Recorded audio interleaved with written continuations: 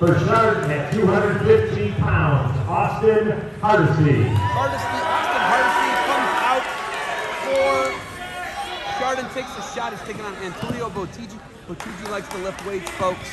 He's an absolute horse. State qualifier last year, 215 as a sophomore. Double leg, nasty freight train double leg. Antonio Bottiggi, folks. Holy smokes.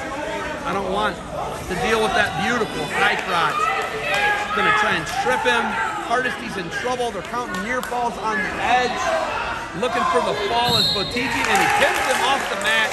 In 40 seconds, Antonio Bottiggi picks up the fall and pulls Riverside within one point. 34-33, It comes down to the heavyweight.